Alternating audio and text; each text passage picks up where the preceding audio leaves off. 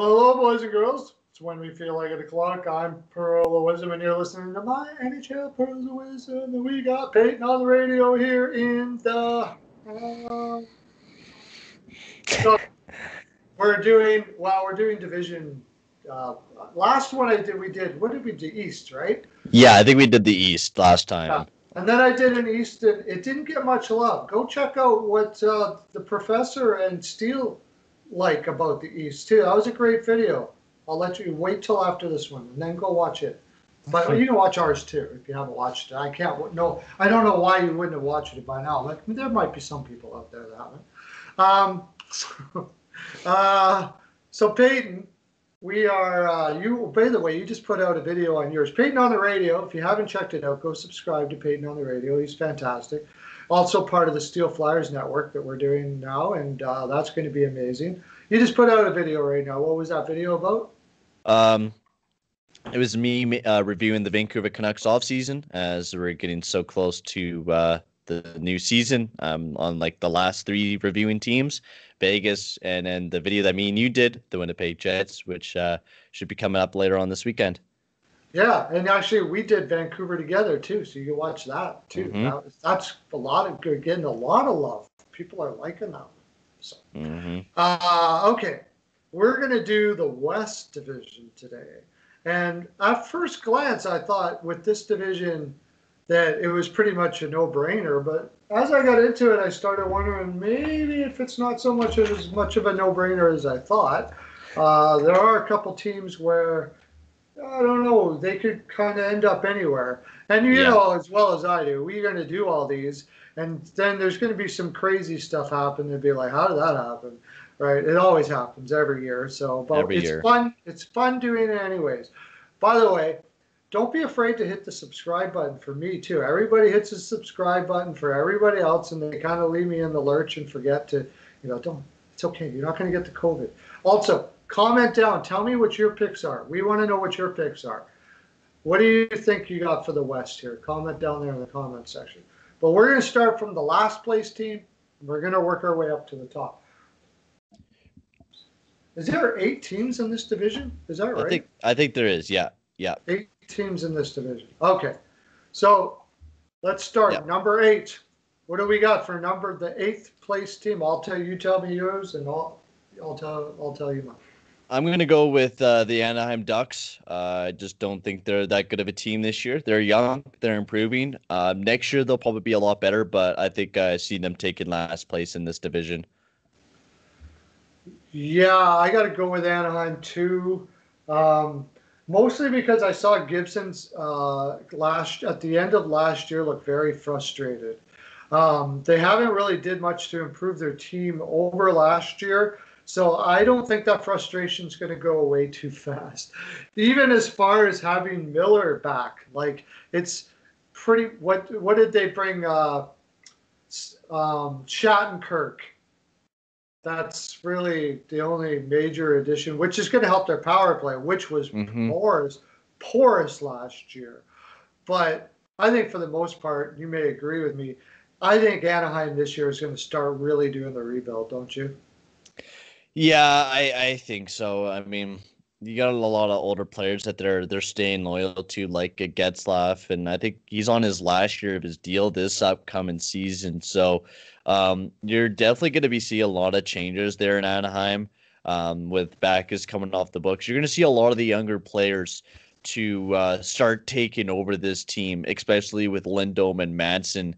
Um, they're having two years left on their contract, so you might be seeing those guys being trade bait unless they want to rush that rebuild. But uh, they got a lot of good young players to really complement this rebuild. For example, like Trevor Zegras that we've seen over the World Juniors, um, who won MVP. He was absolutely fantastic. His hands were nuts. I, I don't think anyone um, could say his hands were nuts. It, it, was nuts the way he was handling that puck out there, and could be a future top line centerman for the Anaheim Ducks. So uh, I think they're definitely heading into rebuild, and this year will definitely be one of their lower years, um, and probably will be having a top five pick in this year's draft.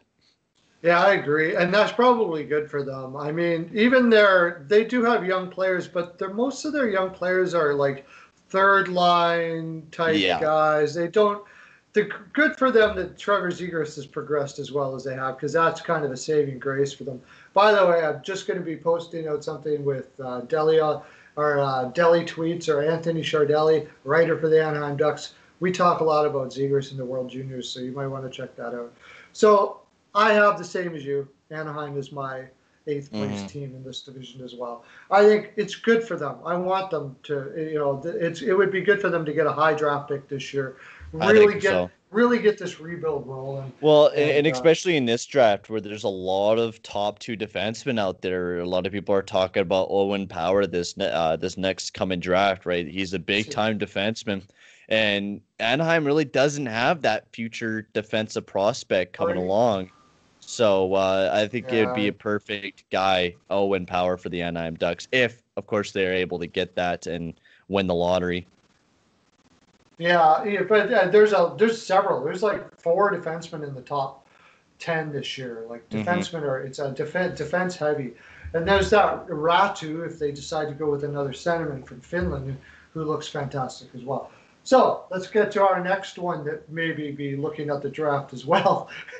well, if if they're going by our numbers, what do we say number seven in this?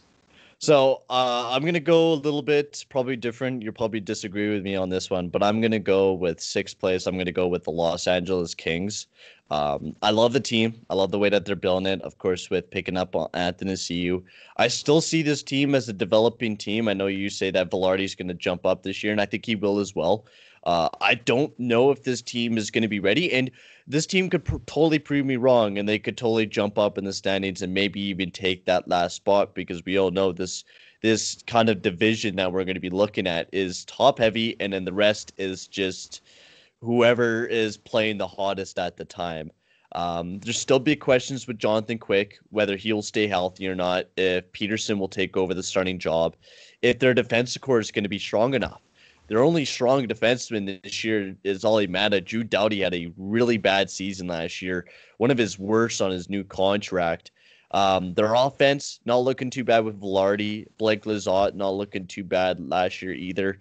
Um, but I don't see them going much further than a sixth place finish, maybe even a fifth if they play better than Arizona. But I see them taking that spot. So you're taking seventh spot. You're putting seventh them in the seventh spot. Okay. Yeah. Um, I'll talk about LA when I get to LA, but I'm going with the Arizona Coyotes. Uh, uh, they're just if you just look at their top, uh, their depth chart, it's I don't know. Rick Tocchet play is going to keep on playing that. Everybody crowd around the goaltender and block shots because Darcy Kuemper is our saving grace, which he is. I mean, mm-hmm. if I was a coach, I don't know if I would do it any differently than that because you got to go with your strength. And Darcy Kuemper is your only true strength. You get for them to even come close to the playoffs. Clayton Keller is going to have to have a, a, breakout season this year, and I just don't see that happening when Nick Schmaltz is your number one center. Uh, Conor Garland, who has you know is a gamer, you know, good young, uh, good young player, small but plays tough. I like him. But you want him as your top line left winger? No. Uh, Lawson Crouse up there, Dvorak. There's nothing on this lineup. Barrett Hayton is probably never going to be what they expected him to be. Um, Barrett Hayton looks like he might be a second line left winger somewhere down the road.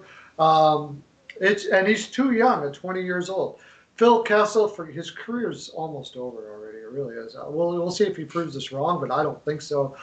The, that offensive depth to me is so bad. Uh, Christian Fischer uh, right now would probably be their second line right winger.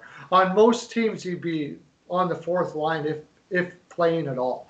Um, I will say that they still have a, an analytics good defense in in mm-hmm. Demers, Larsson, Chychrun. I love Chychrun, Goligoski, but all these guys are on one years and they're probably going to play hard for you. But nobody, you're not going to produce many points anymore out of these guys. Goligoski is going to be 36 years old. Uh, it's basically all Kuemper and Raanta if they can stay healthy. Yeah. Drake Caggiula they got. Uh, if they have injuries, you're going to have guys playing way over their head here. I just can't see. Um, in fact, I think Armstrong is doing this, all these trades, everything. He's going rebuild, and that's it. This is going to be a rebuild year, pretty much a tank. I could even see Anaheim really beating them out. The more I talk about it, I can see Arizona being last in this division as well. Yeah, I totally agree with you, which is why I put them on uh, the the sixth spot for my division because I think they're not going to be that far away from LA or Anaheim. I think those three teams will be pretty close to each other. Um, but the reason why I put Arizona in the sixth spot, and I was even thinking of put them on the fifth spot just because their defense core and uh, Darcy Kuemper. Darcy Kuemper is a game changer for that Arizona oh, Coyotes crew. Absolutely. He honestly was when it was came to playoff time and they were playing against Nashville and even against Colorado. I know they got destroyed against Colorado, but a lot of the times the reason why they were close was Darcy Kuemper. Darcy Kuemper saved them so many times, and I could see this team being a rebuilding team. Um, it really sucks. I I loved Barrett Hayton when he got drafted and how he was hyped up to be a pretty big player there for Arizona. But the problem with Arizona is they are horrible with prospect management. They play their prospects too quick. They rush them, and, eh, eh, and then they regret it because and then you have a player like this in Barrett Hayton who might just spend maybe the rest of his career on the third line if he doesn't develop, right? So um, I'm going to put Arizona in sixth place. They could even go lower if, of course, injuries happen to them and they don't get players producing like a Keller or Garland again. Was Garland just having a one off year? Is he going to go right back down to what he used to be? Um, but yeah, that's where I put the Arizona Coyotes in the the, the sixth spot. Okay, well, my sixth spot, um, I have the San Jose Sharks, um, but I will say that I'm out of all of these, I'm probably most tentative about the San Jose Sharks. Uh, I, I could see them going higher. I could even see them making the playoffs, mostly because this Nabokov seems to be the goalie whisperer. Yeah. Uh, he has done, he did great things with Jones and Dell. Uh, when he came in, he they looked like different goaltenders almost immediately.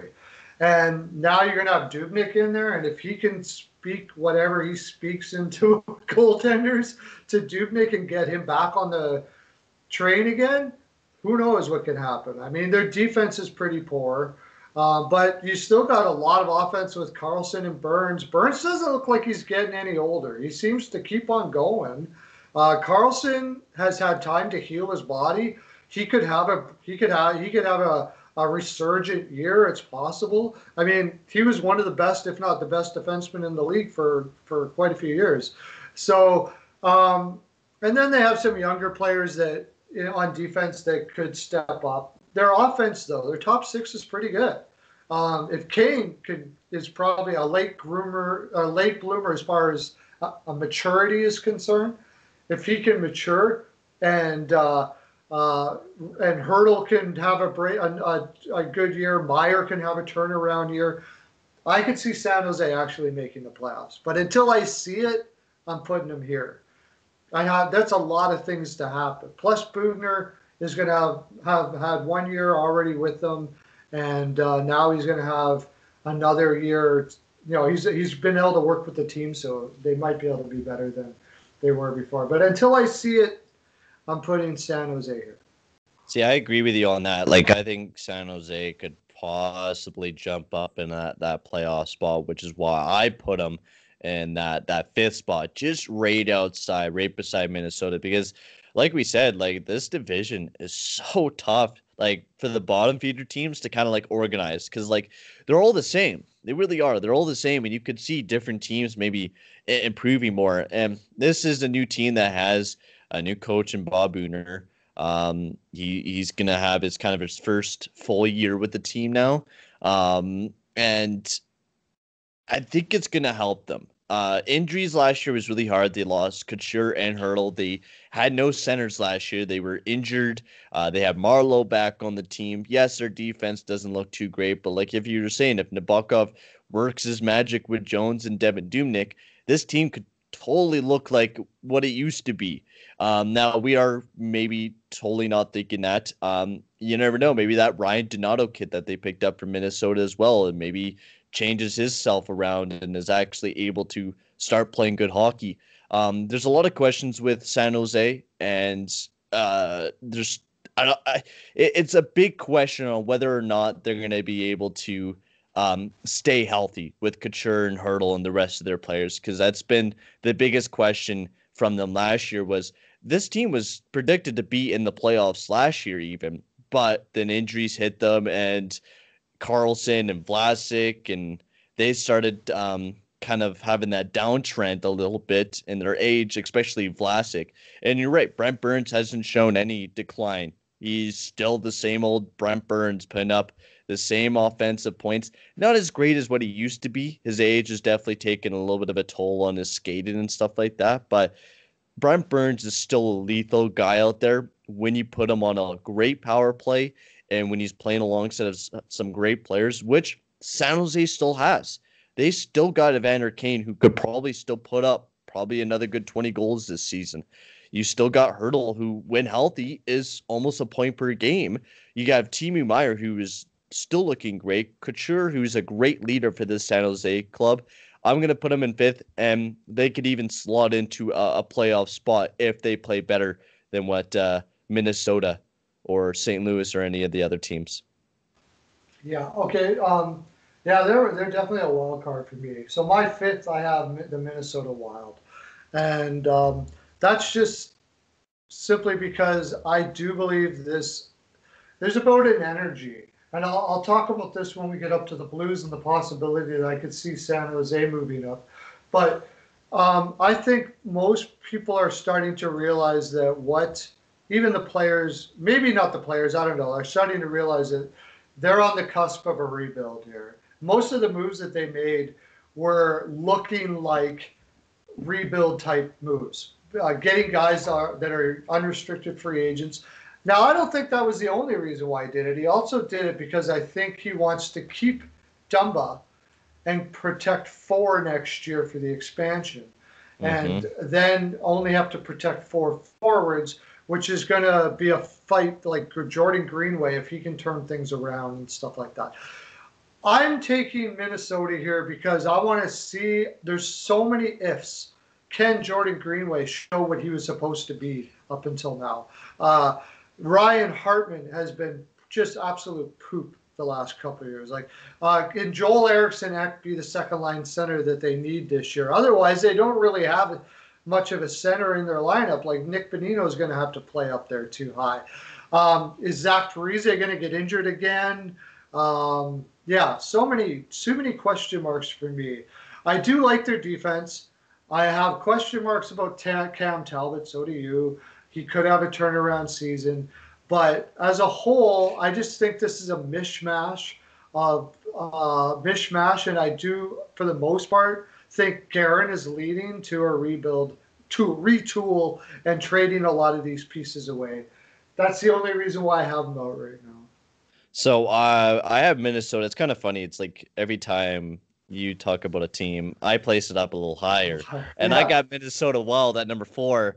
Um, and the reason why I have this team at number four is their defense. And um, as a defenseman, I uh, myself, I love watching defense. Suter, um, yes, he's declining a bit, but still uh, a great defensive defenseman.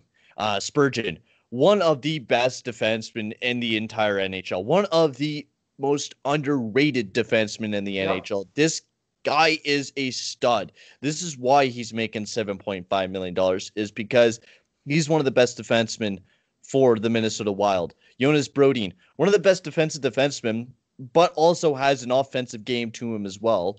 Matt Dumba, eh, he's a, a little bit overrated, but still a very solid defenseman. And then you have one of the best top six pairings in the league, and Carson Soucy and Greg Pateryn. This team reminds me a lot of like a Nashville Predators type of team. A very solid defense core. Now they definitely don't have like a Pekka Rinne. They got a Cam Talbot and like Kaapo Kahkonen, but still that's pretty damn good. Cam Talbot, if he has a resurgence, you could see this team totally taking that fourth spot. And the first couple of games for Minnesota is not too bad. They got to go up against LA, Anaheim, and San Jose. So it's all those kind of like kind of lower bottom feeder teams. And if they take advantage of those early teams, those early matchups, Minnesota can easily jump into a playoff spot. Now, their biggest question is their offense. Can guys like Bjugstad, Bonino, they're kind of their top centermen, is what they're talking about. Can those guys jump up? And also, Kirill Kaprizov and Kevin Fiala, how well will those guys produce for the Minnesota Wild going into the season? Like you were saying as well with Greenway and Eriksson Ek, how well will they jump up into the season as well? Um, offense is going to be a big question for Minnesota, and it might not come very much. But defense is going to be one of the biggest things that I think is going to push the Minnesota Wild into a playoff spot. Yeah, okay. I mean, I could definitely see all of those things. And this is where it gets kind of muddy. I mean, it wouldn't surprise me if Minnesota does better than they do. Uh, but all of these teams seem to have like a lot of question marks all, all the way, all, like all the way up so far. Um, for my making the playoffs, and I know you obviously don't agree because you were lower, but I have LA making the playoffs. And um, to tell you the honest truth, it's not because I look on paper and say this team should make the playoffs. It's it's not that. It's this um, MacKinnon or not MacKinnon. Uh, McLellan has got amazing team system going here for LA. Um, he's getting the most out of the parts that he has here. And um, Michael, like Matt Roy, very they got a lot of very underrated pieces here that are playing extremely well for him. And that's really the only reason why. Um, I think Turcotte may come up and play a little bit. Um, I love Gabriel Vilardi. I don't know why they have him as a third line center here. What are you talking about? He's going to be playing the second line center all day. And um, I, I just think their overall team play is going to push them into that spot. Plus, there's a lot of questions about, you know, Anderson Dolan. How's he going to do? Uh, I don't think Quinn Byfield is going to play either. I think Alex Turcotte will play before he was. Arthur Kaliyev looks like he's only. I think Arthur Kaliyev is really only going to be a third liner in the league. So I think he can play now, and his upside is not huge, but his ability to play now is there. Like he's six He's uh, 6'2", 190. I, I think that's off. I think it looks like he's gained even more weight than that. So I think these guys are going to play, and like it's I can't explain it any other way, but their overall team play, it's kind of like the Columbus Blue Jackets. You look at their roster and go, they shouldn't make the playoffs, but they're going to. Yeah, and I think that's going to be a lot of like part of this West Division is you're going to see a lot of teams just you you might be surprised who knows maybe arizona will make it in there and la they could totally possibly make it in there i, I remember mclellan with the edmonton oilers and how great of a coach he is especially with san jose he could bring more stuff out of those players that you really might not expect very much out of but he'll bring more out of those players so i guess i'll jump on to uh, number three where i have uh, the St. Louis Blues. Um, the St. Louis Blues, uh, I think, could be a, a lot higher if um, they didn't have injuries. Tarasenko, of course, being out of lineup is the biggest one for me. Not having him in there will lower the odds. But if you get Mike Hoffman back in the lineup, that'll make them a lot better. But you you automatically know you might make it into the playoffs since the division otherwise is pretty weak. Now, don't expect that it's going to be a piece of cake because teams could totally upset you, and St. Louis might be out of the playoffs. But I don't see that. I see St. Louis face, uh, finishing in third. I think their defense still looks as great. Vince Dunn is a very underrated defenseman for the amount of money he's making this upcoming year. Um, their defense core with Scandella, Krug, Parayko, and Faulk is a very good, capable top four. Binnington, if he has a bounce back season from what he did last year, I think he'll do very good. And Husso, um, he will be making his debut. Hopefully, he will pan out for the St. Louis Blues. But otherwise, I like their offense. Um, I like their defense. I think they're going to be easily placed third um, in the uh, the West Division. I have them third too, but I have a I have an asterisk beside it because I I honestly think you could almost I'm I'm tempted to switch the Blues and the Sharks.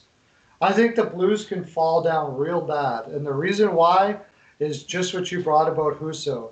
And Binnington has to show it. He had a poor mm-hmm. year. If Binnington does not progress, they're screwed. Like I don't care what the rest of your lineup is, you're done. And this year, when goaltending is going to be so important, they are putting a lot of marbles in one player that didn't have a good year last year. So I'm putting them there tentatively, assuming that Binnington has a rebound year. And I still think they're going to do something with that goaltending. I don't think they're going to put that much pressure on Husso. I think they're going to bring somebody else in somewhere along the way here. So I'm putting them there for now, but I almost had San Jose up in this spot and the Blues missing the playoffs. I just about did. So it's to me, it's really close there. Um, but it's hard to it's hard to go against their depth on forward. Like it, it really is. It really is. They're really, they're crazy depth, and especially if they pick up Mike Hoffman, and then later on in the season, if they do get Tarasenko back in lineup, man, that's a crazy good roster. When you add Tarasenko back in that roster, and having Robert Thomas as your second line centerman, I really love Robert Thomas, and I think he will he he did great last year for the St. Louis Blues, and he's just overall getting better and better. And you might see him take another step up as yep. a St. Louis Blue this upcoming season. Um, yep. But honestly, a great player. Um, yep. I guess we'll jump on to. I guess you go ahead. Number two. Number two. Yeah. Perfect. Um, I'm going to go with the Vegas Golden Knights on this one. Um, I thought this was a pretty easy choice. I like Vegas. You could even put St. Louis ahead of Vegas, honestly, uh, looking more at the depth charts um, of both teams. But the reason why I have Vegas ahead is because of Robin Lehner, Marc Andre Fleury.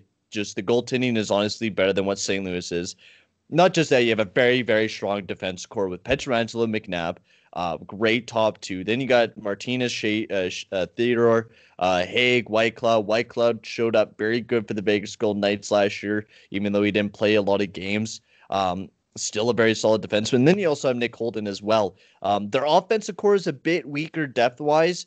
Uh, Alex Tuch was injured a lot of last year. Same with Cody Glass. So if you have those guys staying healthy and producing for you, you could have a very good depth uh, with Glass and Tuch. Stephenson, on the other hand, as your second line centerman, is a little sketchy. But if you have Glass develop into a guy who can produce a decent amount of points for your team, then that's great. Now you have a second line centerman and Cody Glass, which is what they're expecting from Cody is to be that second line guy for that team. But you might see Stephenson, and Stephenson actually did very well, I think, alongside of Stone. And I think they're going to continue that combination. The Stephenson very well analytically, defensively, and same with Stone. And if they play that type of style of game where they're going to be focusing a lot of defense, which they are, I think they're going to be focusing a lot on defense this upcoming season. I think they'll easily take that second place spot.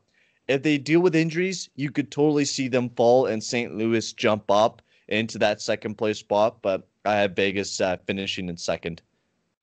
Yeah. Um, well, Chandler Stephenson, he's a shutdown center, right? Yeah. That's really what yes. he is. So you got that's what they're doing with that lineup. And Mark Stone doesn't care if his offense suffers to play that role. Mm-hmm. They're going to be playing against other teams' top lines every every game. That's really what they're all about, which frees up that line of Karlsson, Marchessault, and Smith. Riley Smith is also one of the best analytics guys out there too. He's a fantastic uh, defensive player too. So they got a lot of good defensive forwards uh, that. Um, but I, ideally, you really don't want Chandler Stephenson there. And if they have any injuries to Karlsson or Cody Glass, who has been known to get injured, they could be in some trouble up the middle for sure. But I'm with you. The main thing here is Robin Lehner's a beast. You just can't, you know, he can make up for a lot of holes in your lineup. And yeah. uh, so I'm going with them as they got enough offense for a guy like Robin Lehner for sure. Robin Lehner could take a sec a lesser team than this, where you know we could go down further. You, you could take a lesser team than this and make it in and still be second or make the playoffs. He's that yeah. good of a goaltender. So I'm with really you on that. So obvious. Let's go to the one like the like it was a big secret. Number one. Colorado Avalanche. I think we both went for this one. This was an easy one. Um, one of the best teams in the NHL. Now they do keep losing in the playoffs, but I think this year could be possibly the year for the Colorado Avalanche. They have if they place first, they're going to be play either facing Minnesota, San Jose, Arizona, and those are easy teams to beat. And then you're going to be either facing Vegas or St. Louis, which last year Vegas, I mean, they didn't look too bad. They were really well defensively. I think honestly, Colorado could take any one of these teams. I think Colorado will probably want to have will have one of the best years this year. Um, Burakovsky had a great year last year, great rebound. He's actually turned into the player that he was talked about being. Um, now, Rantanen was injured last year. I think Landeskog is dealing with an injury right now as well. Um, same with Brandon Saad, from what it says on Cap Friendly. Um, but with the addition of Saad getting into the lineup, not just that Devon Toews, who looks fantastic analytically and what a steal of a trade for the New York Islanders. Um, not just that, Philipp Grubauer and Francouz. Now, they might be possibly looking for another goalie um, as Francouz and Grubauer. They've been dealing with some injuries with those two goalies. Um, but honestly, this team all up and down the roster, it's it, it looks beautiful. I love this roster. I don't think you could. This is the definition of analytics. You look all up and down this roster, and you can look at each and every player and say that player is really great analytically, like a Nichushkin, who his analytics are insane. Uh, defensively, he's insane. I love this team here in Colorado. This is a Stanley Cup favorite this year, and uh, I'm giving them that first place spot. Yeah, um, we were talking before that we did this. The depth is one going to be one of the most important things this year, which has me wondering about my LA pick actually. But uh, that none of these teams have a lot of depth. But really, overall, I mean, if Vegas gets hurt in up the middle, they got nothing to replace it. Uh, we could go on with all the other ones how their depth have problems, but Colorado doesn't. I mean, if they mm-hmm. have injured, they got Martin Kaut he, mm-hmm. he was freaking amazing last year when they put him in the lineup. Like if he, uh, it's almost a shame he's on here because he could he, he could play now already, and he's just a young guy. Connor Timmins played in the playoffs. He can take over Ian Cole. You can mitch and match that way. Uh, Sheldon Dries has got great analytics. Uh, Dries, I think is actually how it's said, but he's got great analytics. Kiefer Sherwood did well when he was up. They got lots of guys. Bowen Byram. I mean, on and on and on. The depth. This lineup is set up perfect for a year it like really they're, they're, about to going to have right now. If, if it's almost got to the point, it's almost to me, if Colorado doesn't make it to the finals this year in the West, it's going to be a disappointment. It will That's, be. Yeah, it's it will be a disappointment if they don't make it this year it will be a big disappointment if they don't make it past the second round. They it's a necessity for them that they have to make it to the conference finals and, and, possibly even the Stanley Cup. This is a team that should be winning Stanley Cups by now. This is a team that's ready for it, I think. Saad, I think, is that last, and Devon Toews as well. And Cale Makar, I think you gave him another year to develop. This team is ready. This team is ready for a big cup run, people. Be ready for the Colorado Avalanche. And if not, well, I guess we'll be eating our words. And Nate MacKinnon will be pretty upset again because he was upset last year. Be ready for Nate MacKinnon to rip this league up alongside our Connor McDavid because Nate MacKinnon wasn't very happy with the way Colorado played in that last round last year. So expect Colorado to really bring their A game this upcoming season. Uh, this could be the best top six in the league on defense. Maybe the best forward depth, uh, like the best team period. Um, mm-hmm. And uh, by the way, well, on our way out, watch for Crawford at the deadline. Yes. Yeah. Watch absolutely. for. Well, he's been dealing with some issues himself, so I don't know if he's going to be even playing this year. He hasn't even made it to training camp, I think, for New Jersey. Oh, really? He's, dealing, he's actually oh. been dealing with some problems, I think, with uh, personal issues. I'm not too sure what's going on with Crawford, but I seen it the other day uh, where Corey Crawford was having some issues. So maybe Corey Crawford might not be the guy for the Colorado Avalanche, but uh, he hasn't been at camp. Uh, he's been given some personal days, so he might be back probably, most likely. I didn't even know that thing. Well, that's why we have you on. Well, boys and girls, that's our full 42. We actually went a little bit long, but you guys don't mind because you got nothing else better to do but listen to us babble about who's going to win the West, right? That's why you're here. I don't have anything better to do. That's why I'm doing it. Uh, Payton on the radio. Check out his uh, stuff. www.steelflyers.com. All sports radio. It's going to be the best website in the whole universe. Damn have a great day. That's our full 42. Have a great day, everybody. Lots of love to ya.